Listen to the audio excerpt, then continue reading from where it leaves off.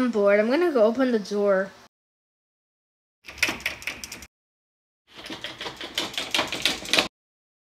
Um, are you okay?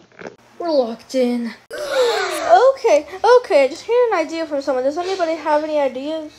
Oh, I got an idea. How about someone breaks the door down? Someone would have to volunteer. I vote Mel. Wait, what? I'm not strong enough to break down a door. I mean, look at those two. They're literally in karate. Mel, I'll give you a cookie. Okay, okay, I'll do it. I'll do anything for a cookie. Wait, you had food this whole time?